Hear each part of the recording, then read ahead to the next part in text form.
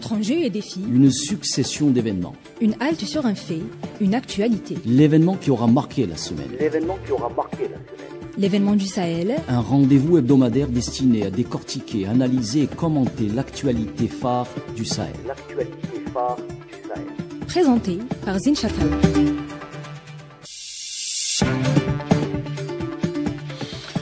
Bonjour chers amis auditrices et auditeurs d'Ifriqiya FM. Bienvenue dans votre émission L'événement du Sahel. Je rappelle que l'événement du Sahel est une émission hebdomadaire de 26 minutes destinée à analyser, commenter et débattre des événements phares qui ont marqué la semaine de la région. Le numéro d'aujourd'hui est consacré à l'analyse des élections législatives en Afrique du Sud. Il est intitulé ANC, les raisons d'un recul.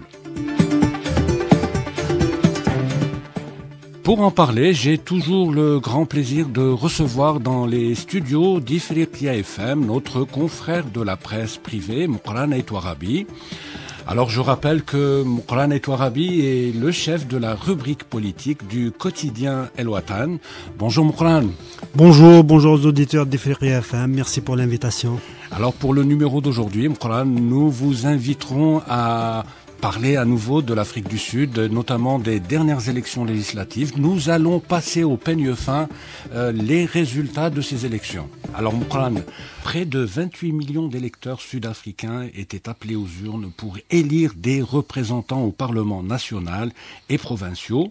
Ces élections législatives ont été les plus disputées des 30 dernières années et ont constitué une sorte de test pour, euh, pour l'ANC, parti majoritaire au Parlement sud-africain depuis la fin de l'apartheid, donc depuis pratiquement 94. Alors, comme beaucoup d'observateurs, nous y compris, hein, nous nous attendions alors euh, à, voir l'ANC euh, euh, perdre quelques plumes dans ces élections législatives. Donc effectivement, c'est ce qui s'est produit. L'ANC a perdu sa majorité absolue au Parlement. Alors, pour gouverner, le parti du défunt Nelson Mandela devra désormais tisser des alliances avec un ou un parti de l'opposition. Les tractations entre partis, d'ailleurs, commençaient à huis clos. Alors, Moukran Aitouarabi, avant de rentrer dans les détails de l'analyse des, des élections législatives, est-ce que vous pourriez nous dire à quoi ressemble actuellement la nouvelle carte politique en Afrique du Sud et surtout en quoi diffère-t-elle de l'ancienne carte politique? La carte euh, politique sud-africaine, euh, elle est euh, depuis depuis donc euh, les, les premières élections interraciales de 94, donc euh, qui ont consacré la fin définitive de l'apartheid dans ce pays et qui ont porté justement l'alliance donc l'ANC au pouvoir, donc l'ANC de Nelson Mandela qui a combattu justement pendant de longues années l'apartheid au pouvoir. Oui.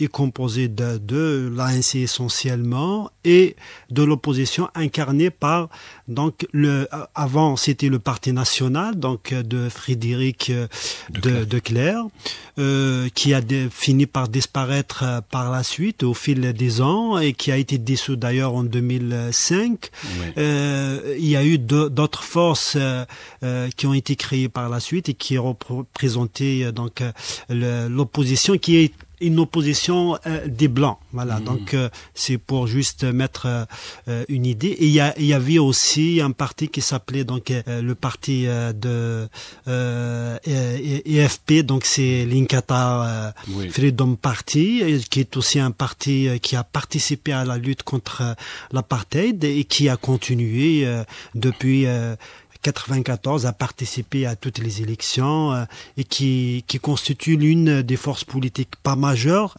mais euh, qui compte euh, dans le paysage politique sud-africain. Il y a eu par la suite beaucoup de, de formations euh, Oui. qui ont été créées, mais si on compare par rapport à 2019, qu'est-ce qui a changé Euh, Oui, surtout par rapport à c'est- 2019. c'est l'arrivée d'un nouveau parti euh, euh, qui est constitué de dissidents de, de l'ANC qui s'appelle MK. Donc c'est Homme Contour euh, euh, We Size We euh, qui qui renvoie directement à la branche armée créée par Nelson Mandela Oui, pendant oui. l'apartheid et qui a été créée par l'ancien président Jacob Zuma qui a été contraint Oui, oui. De céder le pouvoir en, en 2018 euh, et euh, qui a été par la suite remplacé par euh, Cyril Ramaphosa qui est actuellement euh, jusqu'à ma- maintenant euh, le président sud-africain. Globalement euh, depuis euh, 94 donc le paysage politique il est constitué de de l'ANC comme euh, la principale force politique et euh, donc euh, de l'Alliance démocratique qui qui, qui est une fusion entre le Parti démocratique et le nouveau Parti na- national, avec l'Alliance fédérale, qui sont à peu près de la même obédience. C'est des libéraux, euh, voilà, donc, euh, et du parti, donc, EFP. Euh, en 2019, il y a eu un autre parti qui s'est dit, qui, qui, qui était aussi présent depuis 2012. Donc, il y a eu une dissidence aussi au sein de l'ANC. C'est Julius Malema qui a créé un Oui. parti en 2012 et qui a réussi à, donc, à, à se placer euh, sur le paysage politique sud-africain. Alors Julius Malema a créé le, l'EFF. Le FF, donc c'est les combattants pour la liberté économique, Économique, le FF, donc oui. euh, C'est Freedom, Freedom Fighters. Fighters, yeah. Voilà, donc euh, il, a, il a créé, donc lui, il était le chef de la branche jeunesse de l'ANC. Il a fini par être exclu de ce parti en 2012 et euh, euh, c'était une occasion pour lui pour lan- lancer son propre, sa propre formation qui, est- qui lui a permis donc euh, lors des élections de 2014 de se placer comme la troisième force Politique du pays. Là, là, à- l'occasion de ces dernières législatives, l'EFF prend la quatrième place. Oui, il, Il- prend. euh, bon, le, Oui. on, on aura On- l'occasion on de, de- revenir sur, sur tout ça, mais c'est juste pour vous dire que quand même l'actuel paysage politique euh, sud-africain est composé essentiellement de l'ANC et des descendants de l'ANC. Oui. Et à côté, vous avez l'opposition traditionnelle qui est euh, donc l'alliance démocratique incarnée aujourd'hui par l'alliance démocratique. Voilà. Ben, vous me tendez la perche et vous me donnez l'occasion de vous poser la, la seconde question. Alors, euh, la semaine dernière, de nombreux observateurs et analystes politiques ont prédit la défaite de l'ANC. Nous avions évoqué plusieurs raisons qui pouvaient expliquer un recul de l'ANC. De, de l'ANC. Alors, il faut d'abord corriger, euh, corriger quelque chose. L'ANC n'a pas perdu ses élections. Oui, elle a perdu la majorité absolue au sein de l'Assemblée, qui lui permettait justement de, de, de régner sans partage, sans recourir à des coalitions ou des alliances. Elle a- Oui, mais alors- elle reste la par- le premier parti euh, Euh, en Afrique du Sud. En Afrique du Sud, de contrairement loin. à ce que disent beaucoup Oui. de beaucoup de médias oui. occidentaux, l'ANC n'a pas perdu ses élections. On notera juste juste un recul Un de l'ANC qu'on va analyser là maintenant. Oui, effectivement, ça, quand on voit par rapport à 2019, au fait, euh, le, le recul de l'ANC ne date pas d'aujourd'hui. Euh, on peut dire que depuis, depuis l'élection de 2009, l'ANC euh, euh, voyait donc son, son électorat s'éroder petit à petit. Oui. Il est clair que euh, le score enregistré euh, lors de ces élections de 2024 euh, constitue quand même un recul historique assez important par rapport au passé. Euh, oui. C'est 17%, euh, c'est quand même assez conséquent. Et surtout, c'est la perte de la majorité De la absolue qui lui permet jusqu'à jusque-là à, à constituer son propre gouvernement sans recourir à des alliances. Mais quand on analyse de près, même avec 40% de, de- des voix, Oui. euh, l'ANC est de loin la première force politique du pays parce que le, euh, le- celui qui la, la- la suit immédiatement, c'est C'est la- l'Alliance démocratique. démocratique. Elle n'a eu que 21%. Exactement. Donc c'est la moitié de, de, de ce qu'a obtenu l'ANC. Et la troisième force politique qui est un- une dissidence de l'ANC, euh, MK, donc euh, de Jacob Zuma, c'est 15%. 15%. 15%. Et, et euh, juste après viendrait l'EFF, qui est aussi une dissidence de l'ANC, euh, qui a eu euh, 9, presque 10%. Donc globalement, l'ANC, l'électorat de l'ANC, il est là, il est, il, est- il s'exprime pas forcément à travers l'ANC, mais à travers aussi, Aussi d'autres sigles Oui. qui sont toujours de la même famille que l'ANC. Euh, L'ANC reste la, la principale force politique de, de l'Afrique du Sud. Exactement. Euh, mais justement, Moukran, au- au- juste avant l'élection, euh, les analystes euh, prédisaient un recul ou une défaite de, l'ANC, peu importe, et on, expliquait le recul ou la défaite par le fait que l'ANC n'avait pas trouvé de réponse adéquate aux attentes économiques des, Sud-Africains. Bon, ce n'est pas complètement faux. Vous avez un taux de chômage en Afrique du Sud qui frôle les, les 30%, vous avez les infrastructures de, de base qui sont problématiques, vous avez des problèmes de, d'énergie électrique, des problèmes d'eau, des problèmes de chômage, mais, mais euh, en fait, comme vous le disiez euh, en filigrane euh, dans votre dans votre intervention, l'ANC doit ses soucis surtout aussi aux, problèmes internes qui ont provoqué par la suite des scissions. Tout à fait, tout à fait. Pourquoi? Parce que euh, vous savez que Jacob Zoma, qui a créé MK, qui, qui, qui est la surprise de cette élection, a gouverné pendant presque une décennie, deux mandats. Il n'a pas terminé certes son deuxième mandat, mais il mhm. était pratiquement à la fin de son deuxième mandat. Euh, pendant cette période, l'ANC a perdu euh, quand même un peu de, sa superbe. Euh, et aujourd'hui, si euh, on, parle de, de, tous ces problèmes, qui sont certes réels et qui sont là et, et tout, mais il n'y a pas que ça. ça la, la, la, le recul de l'ANC est essentiellement, les chiffres sont là, est essentiellement dû aux décidences euh, successives qu'a connu ce parti. C'est ce qui a affaibli l'ANC. C'est pas pourquoi? Parce qu'il n'y a pas eu un report de voix. Mm. Euh, vers des forces de l'opposition. On, le se parti on se rend compte que l'Alliance démocratique n'a pas, gagné. n'a pas gagné. En réalité, si on fait un calcul mathématique, on va constater que si on comptabilise les, les voix données à MK, qui a été créé six mois avant l'élection, et, Jacob Zoma, jusqu'au moment où il a créé le MK, il était encore membre de l'ANC. et jusqu'à maintenant, il n'est que suspendu, il n'a pas été exclu de l'ANC jusqu'à maintenant. Il a été suspendu suite à la création de ce parti. En fait, le départ de Zuma de l'ANC pour créer son, son parti s'explique surtout par un conflit personnel, qui l'oppose à Voilà, il y a des relations exécrables entre lui et Ramaphosa. Cyril Ramaphosa, le président de l'Afrique du Sud. président de l'Afrique du Sud, qui est aussi le président de l'ANC oui, oui. de, depuis, depuis 2018, euh, parce que Jacob Zuma considérait que euh, Cyril Ramaphosa était à l'origine de, de, de, de, de son départ de l'ANC de, parce qu'il n'a pas démissionné de son propre gré. Il a été forcé par l'ANC à,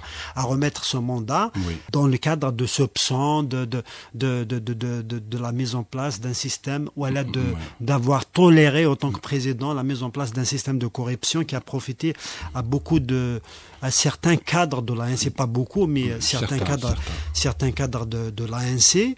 Il y a eu, bien sûr, on va pas revenir sur ça, c'est connu.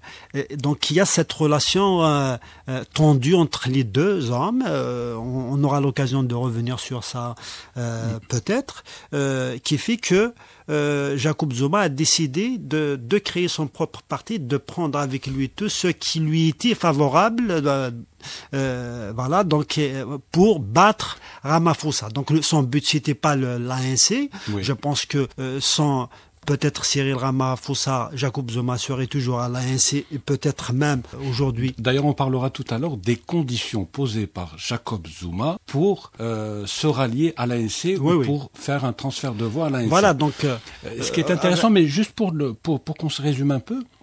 alors, l'ANC a perdu euh, ses élections, enfin, elle a perdu ses élections, elle a reculé euh, lors de ces élections. Elle a perdu sa majorité absolue. Elle a perdu sa majorité absolue, non pas parce que l'opposition a gagné en force, non pas parce que l'opposition a avancé, non pas parce que l'opposition, l'assiette électorale de l'opposition a augmenté, mais parce que l'ANC est à chaque fois victime de scissions euh, au sein de, de, de, de au, au, sein de ses membres. Il y a, il y a ça, il y a peut-être aussi, euh, on peut ah, rajouter oui. euh, aussi le taux de, de participation. Peut-être il y a aussi beaucoup de d'issus de l'ANC qui ont préféré s'abstenir, ne pas Bouder voter, les urnes. bouder les urnes. Ça a commencé depuis euh, donc euh, taux de participation aux élections, euh, euh, aux, élections générales, Oui. donc en Afrique du Sud, parce que euh, c'est et, concerne aussi les provinces. On aura l'occasion oui. de, de En revenir sur ça.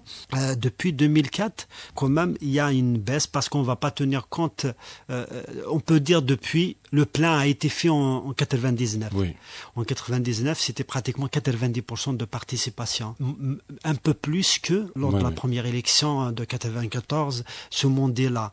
Euh, Ça s'explique euh, le taux, euh, la différence peut-être par le contexte tendu lors du, dans lequel se sont tenues les premières élections Ouais, générales en. Afrique du Sud en, en 94. Il y avait l'extrême droite qui voulait pas de ces élections, qui menaçait, qui, qui avait même piégé certains centres de vote. Mais euh, depuis euh, 99, il y a eu une chute graduelle euh, euh, de- du taux de participation, donc en passant de 89 à 58% cette fois-ci, donc un peu moins que que lors des dernières élections. Oui, oui.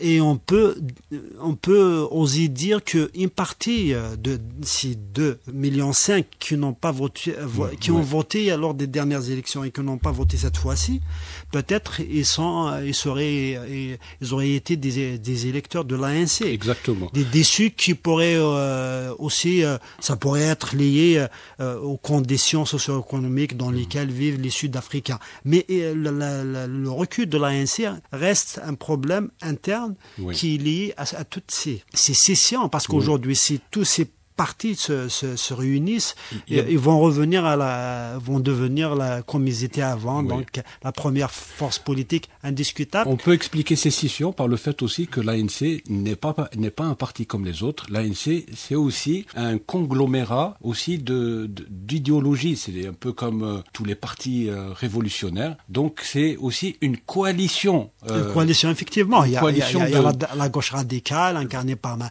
Malema. Malema, vous avez Jacob. Jacob il y a plein de- Zuma, il y a plein d'autres. euh, pourquoi? Parce qu'à chaque fois qu'il y a une session, vous savez que même en 2004, il y a eu une session au sein Oui. de l'ANC, Oui, le oui. Congrès euh, des peuples. En 2004, il s'est imposé comme la troisième force politique. Il venait d'être créé et il a réussi à se placer comme la première force politique. Donc la fragilité en réalité, euh, elle est elle est plus interne qu'externe. Elle est plus interne qu'externe, à mon avis. euh, oui, pourquoi? Parce que le, la principale force de l'opposition n'a pas n'a pas Ouais, beaucoup évolué. Je pense qu'elle a atteint son plafond de verre. Oui. On est à Euh, 22%. À hein. 22%, entre 20 et toi, elle a gagné trois sièges cette fois, c'est par rapport à, à 2019. Mais euh, en 2019, la- l'Alliance démocratique a reculé quand même. Je crois, Elle a Oui. perdu des voix. D'ailleurs, c'est c'est ce qui a poussé le parti à évincer le, le noir qu'on Mm. a ramené. Donc, euh, Mais l'Alliance démocratique. euh, Maïman, Nous, oui. nous- nous aurons peut-être l'occasion d'en parler tout à l'heure. L'Alliance démocratique, même si elle rassure les partenaires internationaux, surtout occidentaux de, l'Afrique du Sud, parce que c'est un parti pro-occidental, libéral, mais en interne, c'est un parti qui ne rassure pas, parce que c'est un parti qui prône la pri- privatisation des, entreprises publiques, euh, qui a un discours libéral qui fait peur en interne. Mais justement, pour essayer d'avancer dans cette émission, alors, malgré son mauvais résultat aux élections qui lui a fait perdre sa majorité à l'Assemblée nationale, le Congrès national africain, c'est-à-dire l'ANC, reste le premier parti politique d'Afrique du Sud. Alors, ce qui est certain, l'élection du prochain président d'Afrique du Sud va venir de ses rangs. C'est une certitude. Oui, oui. Donc l'idée est de savoir est-ce que Cyril Ramaphosa va faire un deuxième mandat ou s'il cédera sa place à quelqu'un d'autre? Alors, à condition de trouver donc euh, cette élection du nouveau président euh, va se faire, il viendra de ses rangs, à condition de trouver un partenaire de coalition. Alors, un groupe de travail s'est réuni déjà dès cette semaine, il commence à travailler pour fournir des scénarios aux membres de son comité exécutif. Alors, euh, déjà par rapport à ça, l'ANC ou les dirigeants de l'ANC rassurent, ils disent que en interne nous sommes très unis et que nous allons tout faire pour donner quelqu'un capable de répondre aux aspirations des, Sud-Africains. Donc là, ils battent en brèche les rumeurs de division interne.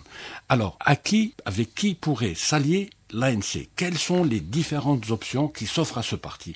Les tractations, donc comme je viens de le dire, ont commencé et l'ANC et ses partenaires ont 14 jours pour désigner le nouveau président. Oui, effectivement, euh, les tractations, je pense qu'ils ont commencé même euh, avant même euh, l'annonce des résultats, parce que je pense que l'ANC savait que euh, vu euh, au regard des, des, des, des sondages d'opinion qui sont euh, globalement fiables euh, en Afrique du Sud parce qu'il y a de bons instituts de sondage, comme il y a de bonnes universités et une presse euh, très très professionnelle. Oui. Euh, je pense que les contacts ont déjà été entrepris avec les principales forces politiques. Oui.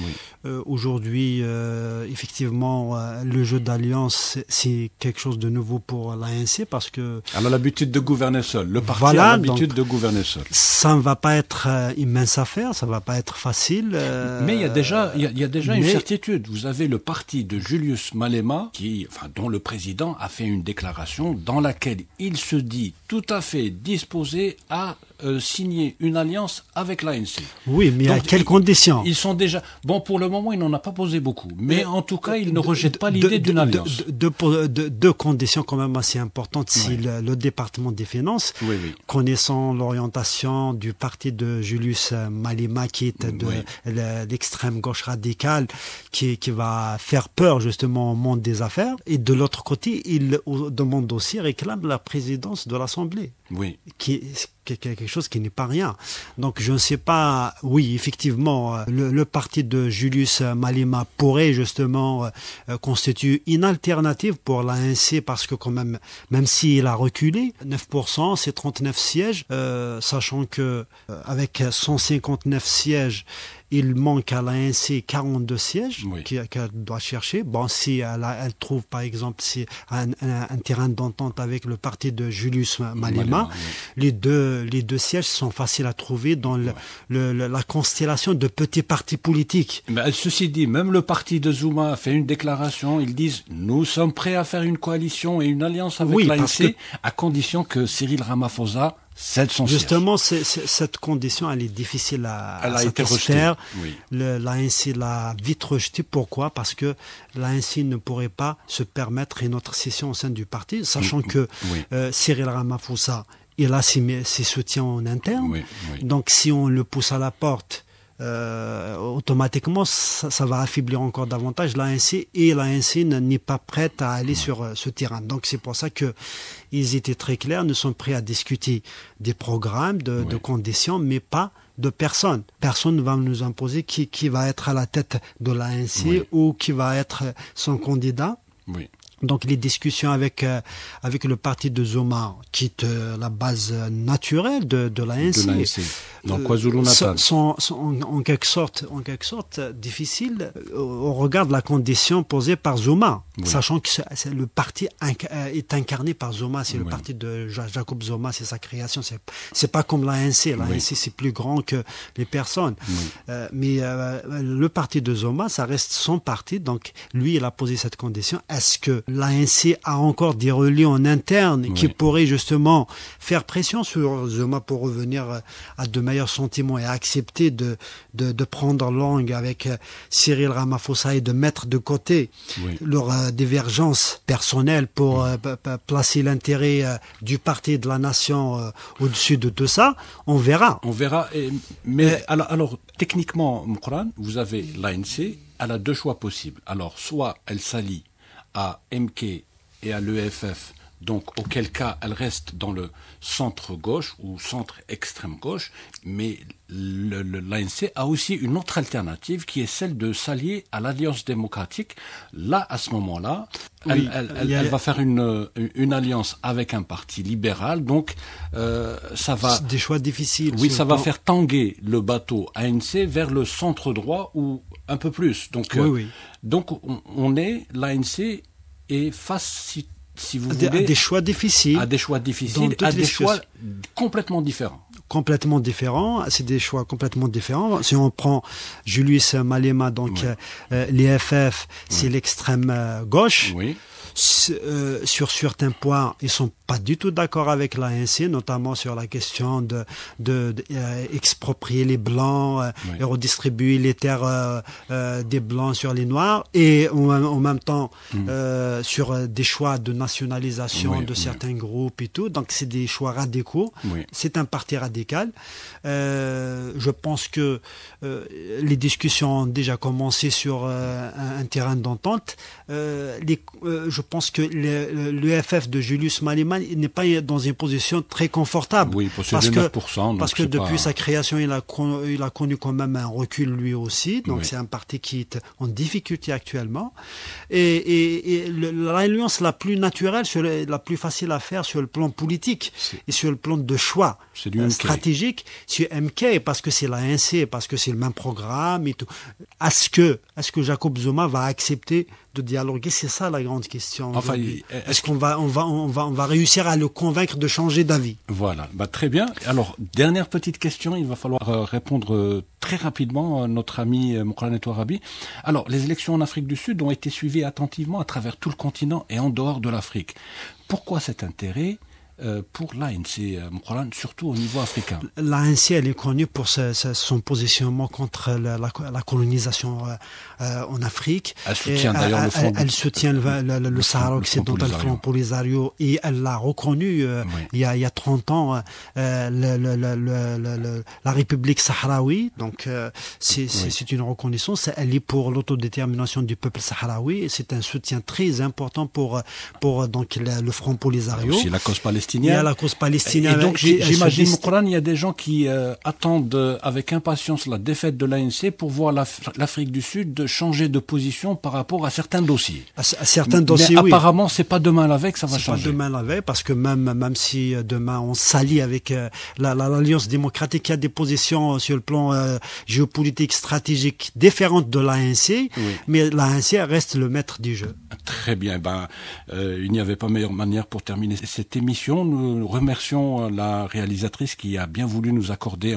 une minute de débat. Et donc, euh, bah voilà, c'était le mot de la fin, euh, et Rabi. Euh, j'espère que nous vous retrouverons la semaine prochaine pour un nouveau numéro de l'événement euh, du Sahel. Alors juste pour rappeler, cette émission a été préparée et présentée par Zin Fawi, réalisée par Hasiba. À la console technique, il y avait Linda.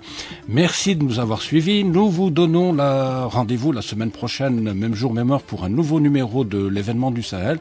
Je vous rappelle que vous pouvez nous écouter sur Internet. Pour cela, il vous suffit simplement de télécharger notre application Play Store. Bonne écoute avec la suite des programmes d'IFRIQA FM et au revoir.